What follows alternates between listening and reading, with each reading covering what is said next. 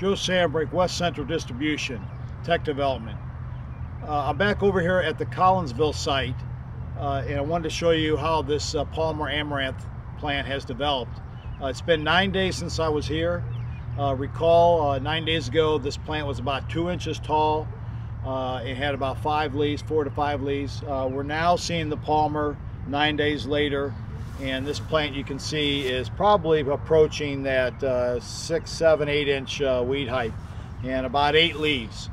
So uh, we're, we're basically uh, beyond what the label would recommend for dicamba, uh, for, uh, for formicillin and PPO type products, 2,4-D.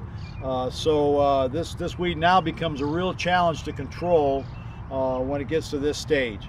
So again, we'll come back uh, here in another week or so, show you how quickly this uh, weed is growing. Uh, we're now getting uh, mid 80s to 90 degree temperature, plenty of moisture. This weed's really going to take off and grow.